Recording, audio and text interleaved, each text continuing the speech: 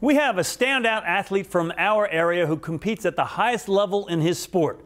His sport is goalball. I'll let Connor Reel pick up the story from here. I asked Virginia Beach resident Christian King what it's like to represent America with Team USA.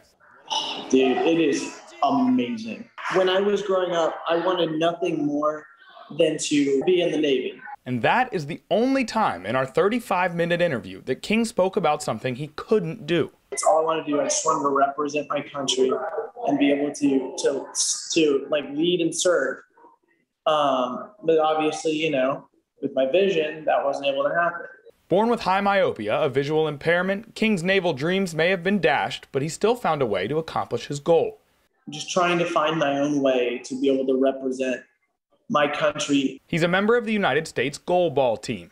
Goalball is a sport for the blind and visually impaired. The key to being a great goalball player? About 80% of it is mental, your, your mental uh, toughness, I guess. King's mental toughness extends well off the court. I've never let my vision ever ever get in the way of what I wanted to accomplish. The team is currently attempting to qualify for the 2024 Paris Paralympics. And if we've learned anything here today, it's that Christian King will get to where he wants to be. How much potential there is out there for me to succeed.